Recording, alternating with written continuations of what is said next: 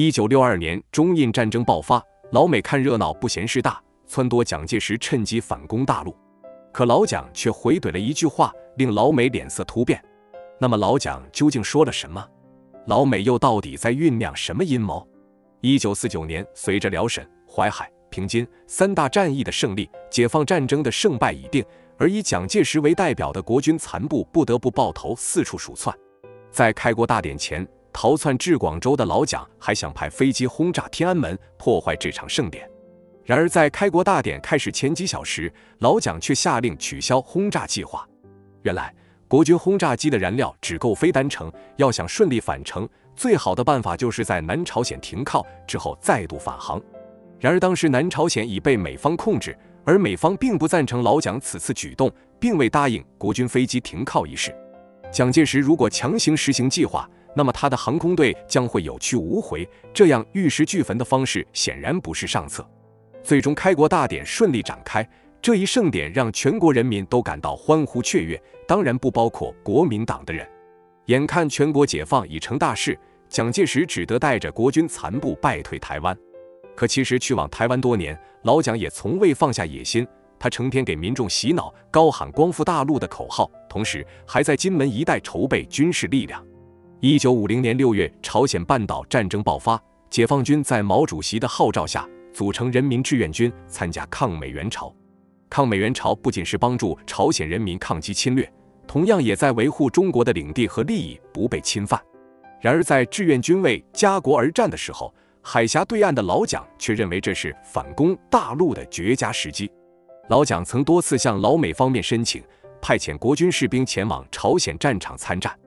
老蒋打的一手好算盘，如果能在朝鲜战场上为老美出力，卖他们个人情，日后反攻大陆，老美怎么也得投桃报李吧。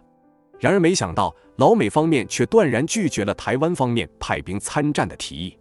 一方面，老美自视甚高，对朝鲜战争胜券在握，看不上老蒋这点微乎其微的助力；另一方面，二战刚结束不久。彼时世界各国正值冷战时期，毕竟要是因此引发第三次世界大战，那可就得不偿失了。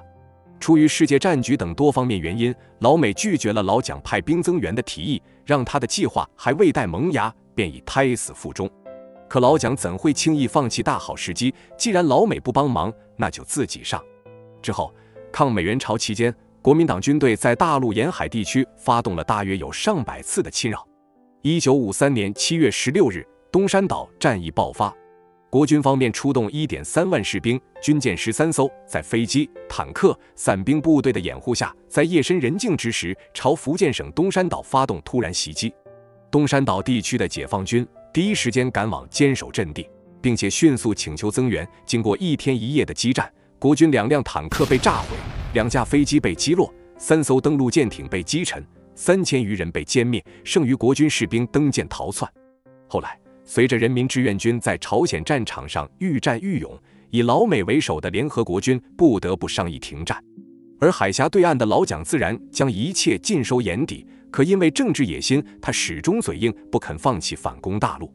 此后，老蒋也一直在想办法得到老美的帮助。然而，在一九六二年中印战争爆发时，老美主动派人去台湾找到老蒋，提出趁机进攻大陆的提议，老蒋却一口回绝了。这是为何？中印战争爆发后，美国上将去台湾提出帮助老蒋反攻大陆的计划，但却遭到老蒋拒绝。老蒋拒绝这一提议的背后，到底有何特殊的原因？六十年代初期，海峡对岸的老蒋再度蠢蠢欲动，几度想要实施反攻计划。当时大陆对外与苏联的之间的关系急转直下，友好的邦交出现了裂痕，而对内大陆的经济也因为三年自然灾害受到了极大的影响。面对这样千载难逢的机会，老蒋再也坐不住了。他开始启动国光计划。为了成功实施国光计划，老蒋再度找到了老美，希望其能提供助力。然而，肯迪尼却再度拒绝提供帮助，因为他压根就不认可老蒋的计划。两个月后，中印两国之间剑拔弩张的关系又一次让美国看到了希望。他们甚至主动派人去找蒋介石。早在上个世纪五十年代。印度就屡次越过传统习惯线，试图侵占我国领土。一开始，我国秉承着以和为贵，一直在积极交涉，希望能够和平共处。可没想到，在印度看来，中国求和的态度无异于示弱，印方非但不收敛，反而变本加厉，屡屡侵扰我国边界地区的人民。一九六二年，印度方面再度提出了割让国土等无理要求，对此我国领导人不再忍让，严词拒绝。而印度总理尼赫鲁恼羞成怒，竟发出了宣战宣言。我国一直主张和平，却并不代表怕事。面对印度的挑衅，毛主席大手一挥，公然应战。在西方国家看来，这场战争还未开打，结局就已经注定。当时我国和苏联的关系已经恶化，而美国也对我国实施全面贸易封锁。同时，蒋介石在金门方面的军事力量也虎视眈眈。我国面对着群狼环伺的恶劣处境，对印度这一战恐怕将会凶多吉少。一九六二年十月，因为印度的屡次挑衅，中印战争爆发。而美国方面认为，此次战争中国大陆必定会受到极大影响。这时候，在帮助台湾的老蒋反攻大陆，将是千载难逢的好机会。美军上将哈里·菲尔德得到肯尼迪授意，去往台湾游说老蒋反攻。此行，菲尔德可谓是胜券在握。他心中笃定，蒋介石一定会答应此事。毕竟几个月前，老蒋还就此事与美方商议呢。可当上将站在老蒋面前，对其说出全盘计划的时候，老蒋却回怼了一句话。这句话让洋洋得意的上将脸色突变，不久后就离开了。那么老蒋到底说了什么？他为何会拒绝唾手可得的反攻机会？一九六二年，美军上将前往台湾，撺掇老蒋反攻大陆，可却被老蒋一句话回怼回美国。那么老蒋到底说了什么？他拒绝在中印战争时反攻，又有何特殊意味？一九六二年十月的一天。美军上将哈里·菲尔德乘飞机前往台湾，打算趁中印双方作战时帮助国军反攻大陆。菲尔德来到台湾，表示美方愿意在中印战争时期给予台湾的国军军事物资援助，趁大陆分身乏术的时候一举进攻，夺取政权。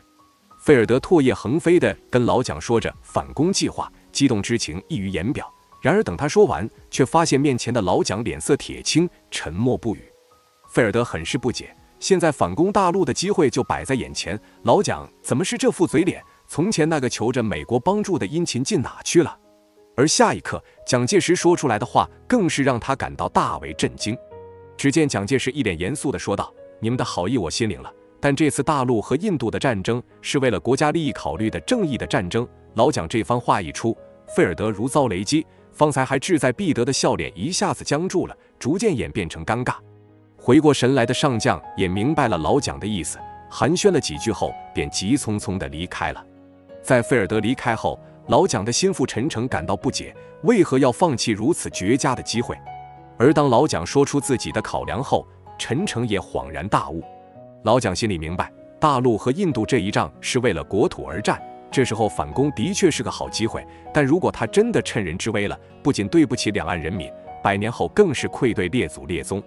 即使身在台湾多年，老蒋也依然坚持一个中国政策：家中兄弟打架可以，可属于一家人的利益，绝不允许外人觊觎。另一方面，老蒋跟我党打过多年的交道，明白共产党从不打无准备的仗。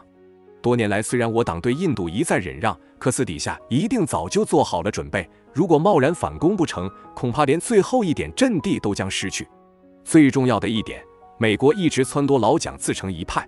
而他却始终坚持一个中国的原则。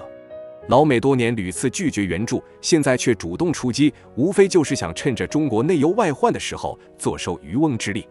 所以蒋介石才会拒绝美方的好意。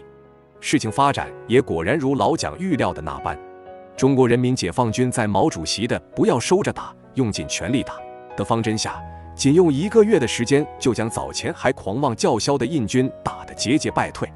就在印度人民人心惶惶时，我国政府军却在十一月二十一日宣布全线停火撤退，并且撤退至分界线时，将抓获的三千九百名印军俘虏、军事装备悉数奉还。